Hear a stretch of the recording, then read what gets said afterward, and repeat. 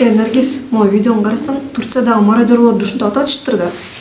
Кана э бул видеодо аларды кечээ эле тиги өлтүрүлгөндөр курулушчулар деп атпады койсоң укпайт эми классташтар менен бөлүшүп койгон э токто токто токто муну бөлүшкөнгө болбойт. Эмнеге эмнеге мындай видеолорду бөлүшпөш керек экенин анан видеонун өзү жөнүндө мен азыр айтып берем бир эле видео эки үңүттө тарап жатат. Демек бул күмөндүү маалымат. Аны башкаларга жибергениңиз туура эмес. Сиз фейктин жайылышына салым кошуп калышыңыз мүмкүн алтынчы февралда түркия менен сирия аймагында катуу жер титиреп имараттар кыйрап калган. Жарандар массалык жабыр тарткан бул кырсыктан соң түркияда мародерлор же болбосо жабыркагандарды талкаланган үйлөрдү талап тоноп жаткандар көбөйгөнү маалымдалды бул маалыматтардан кийин эле социалдык тармактарда мессенджерлерде да дал ошол мародерлорду түркияда массалык атып жатыптыр деген видеолор жайылтыла баштаган тасмада куралчан аскер кийиминдеги кызматкерлер кармалган жарандарды бир бирден алып келип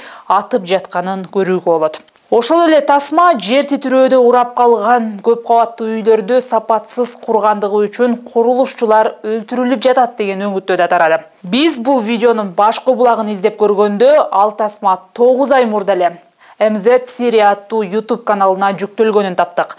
Демек анын түркиядагы жер титирөөдөн кийинки окуяларга тиешеси жок ушул эле видеону былтыр 28 апрелде BBC News да өз эфиринде көрсөтүп YouTube каналына жүктөгөн.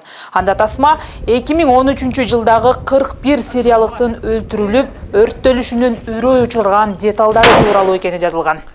الشخص بالعسكري يقتاد هؤلاء معصوبي الأعين إلى هذه الحفرة ليطلق النار عليهم азыркы тарап жаткан видео менен бул тасмадагы окуялар адамдар жана окуя болгон жери да окшош. Видеодо зомбулук бар болгондуктан аларды биз бул жакта ачык көрсөткөн жокпуз. Бул 2013 жылы болгон окуя болсо анын видеолору кантип эми гана социалдык тармакта пайда болуп калганы биз үчүн күмөндүү болду. Мындан улам окуя тууралуу маалыматты издеп көрдүк. Чындыгында эле сириядагы бул үрөй учурган окуя боюнча иликтөө алгач the guardian басылмасына 2022 жылдын 27 апрелинде гана жарыяланган. Анда видеодогу көрүнүш сириядагы жарандык согуш маалында 2013 жылдын 16 апрелинде болгону айтылат видеону басылмага сириядагы конфликти ондогон жылдардан бери изилдеп келген амстердам университетинин угур юмет юнгер жана ансар шахут аттуу эки изилдөөчүсү берген ал эми изилдөөчүлөрдүн колуна бул тасма 2019 жылы сирия милициясынын кызматкери тарабынан келип түшкөн. Окуяга күч органдарынын катышы бар болгондуктан изилдөөчүлөр маалымат булагынын коопсуздугу үчүн аны үч жыл бою жашыруун изилдеп тасманы эч кимге көрсөткөн эмес. Кийин видеодогу кишилердин бири сириянын аскердик чалгындоо башкармалыгынын кызматкери экенин аныкташкан.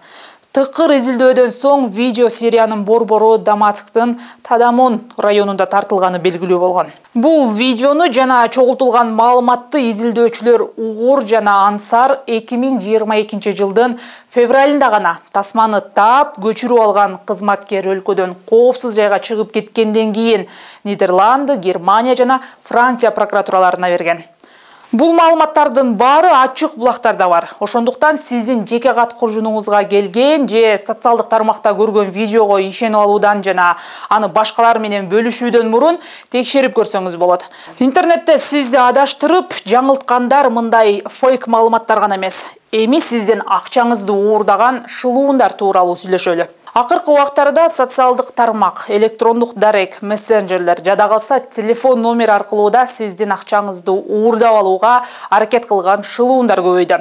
Кандайдыр бир белгилүү инсандын атынан акча таратылып жатат же беделдүү компаниялар белек берип жатат дегендер да бар.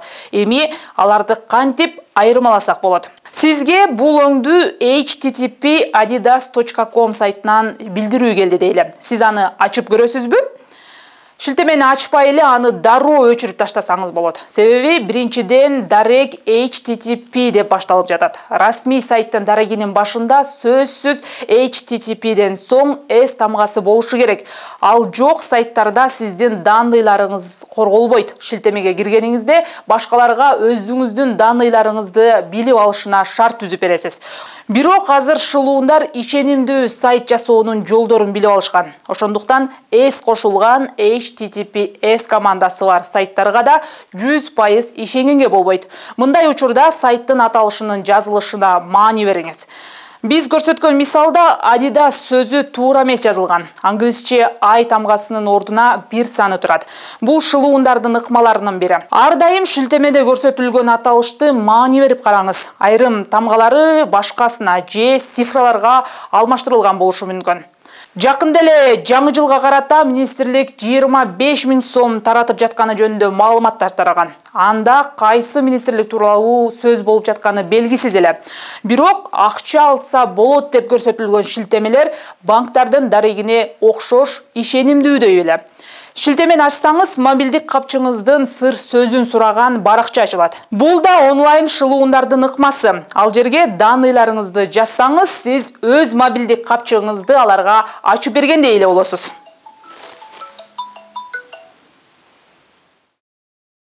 саламатсызбы биз банк кызматкерлерибиз сиз картаңыздын номери шылуундар жиберген шилтемеге жазган окшойсуз картаңызга чабуул болуп жатат андагы акчаңызды которуп албаш үчүн биз алдын алуу чараларын көрүшүбүз керек.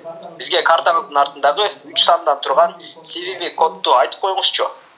И азыр үч жогоруда акча таркатып жатабыз деген өңдүү билдирүүлөргө данныйларыңызды жазган болсоңуз мына ушундай телефон чалуу болушу мүмкүн. Аларга ишенип дароо cvv кодду айтып койбоңуз. Шылуундар банктык картаңызды бузуп кирүүгө анын номери жетишсиз болгондуктан сизге өздөрү байланышышы мүмкүн. Аларга жооп бергенге шашпай банктын расмий сайтындагы байланыш номерлерге чалып маалыматты тактаңыз ошондой эле социалдык тармактарда айрыкча фейсбукта беделдүү эле компаниялардын атынан баракча ачып товарлар жараксыз болуп калганы же эскирип сынып калганы үчүн аларды таратып жатканын кабарлап данный чогулткандар көбөйдү. Эмнегедир аларга көпчүлүк адамдар ишенет мындай баракчаларды кантип айырмаласа болот биринчиден анын аталышына маани берип окуңуз. Көп учурда кайсы бир тамгасы алмаштырылып ката жазылат? Мисалы бул баракчада кыргызстан сөзү туура эмес жазылган. Ошондой эле баракчанын качан ачылганын карап көрүңүз. Мындай аккаунттардын көпчүлүгү эки үч күнгө ачылып кайра эле өчүрүлөт.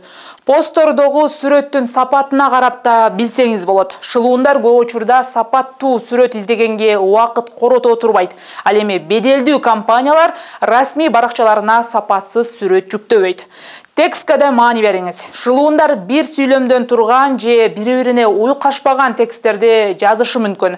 Ал эми расмий баракчаларда текст өтө кылдаат текшерүүдөн өтүп андан соң жарыяланат. Биздин материалдарды facebook instagram жана youtube баракчаларында тмедиа фейк көзөмөл деп таба аласыз. Ушул эле темадагы макала тест жана текшерилген маалыматтар тмедиа чекит kg сайтына жүктөлөт.